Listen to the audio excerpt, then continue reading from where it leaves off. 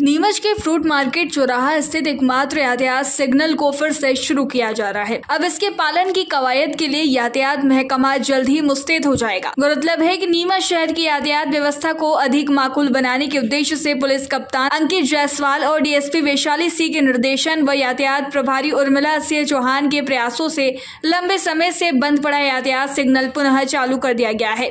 इस traffic signal के शुरू होने से नीमच के व्यवस्था टेगोर मार्ग पर तेज गति से चलने वाले वाहन चालकों पर अंकुश लगेगा। वहीं यातायात व्यवस्था भी दुरुस्त होगी। यातायात प्रभारी उर्मिला सिंह चौहान ने बताया कि नगरपालिका से संपर्क कर जल्द ही रोड मार्किंग और जेब्रा क्रॉसिंग का कार्य भी शुरू किया जाएगा। में बंद पड़े ट्रैफ़िक सिग्नल लंबे टाइम बाद शुरू किए गए। उसके अलावा आपकी ओर से एक और प्रयास किया जा रहा है मैडम, कि जहाँ पर कम रोशनी वाले इलाका है, जहाँ दुर्घटना आशंका बनी रहती वहाँ पर भी आपकी ओर से लाइटें लगाने के लिए निर्देश भी दिए गए लगाई भी गई है ट्रैफ़िक सिग्नल भी जी, मैं जब यहाँ पहुँची थी, तब जानकारी में आया था कि एक सिग्नल है, सिर्फ़ एक ही लगा हुआ है शहर में और लंबे समय से बंद पड़ा हुआ है और उसे चालू करवाना प्रायोरिटी में रखा था हम लोगों ने क्योंकि यातायात सिग्नल यदि होते हैं तो लोगों में अवेयरनेस आती है, थोड़ा स्पीड में भी रोकथाम लगती है, जो एक स्पीड के साथ लोग चौराहों से निकल जाते हैं।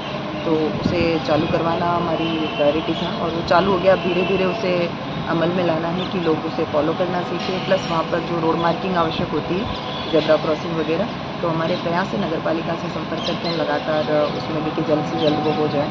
और शहर में और भी ऐसे रोड हैं जिनमें मार्किंग रोड मार्किंग प्रॉपर नहीं है। तो हमारे प्रयास है कि हम जल्दी उन्हें करवाएँ। इसके साथ ही हमारे पुलिस अधीक्षक महोदय के आदेश थे कि पूरे शहर में कई जगह अंधेरा रहता है। तो आप लोग भ्रमण करके देखिए कहाँ कहाँ है, जिससे कि लोगों को अंधेरे की वजह से कोई असुविधा ना हो, किसी प्रकार की घटनाएँ घटित ना हो। और वहाँ पर रोशनी जल्द से जल्द होना चाहिए। तो नगर पालिका से संपर्क करके हमने शहर के जो नीमच सिटी कैंट और बगाना, तीनों थाने हैं। उनके कुछ स्थान चिन्हित करके नगर पालिका को दिए थे, जहाँ से कुछ जगहों पर लग चुकी हैं, कुछ और पर भी लगना बाकी है। उनको भी हम पर्सनली जा कर के फिजिकली वेरीफाई करेंगे कि लगी है अथवा नहीं, और जहाँ पर नहीं लगी भी होगी अभी वहाँ पे उनसे भी संपर्क करके सभी जगह कोशिश करेंगे कि जल्द से जल्द लाइट लग जाए।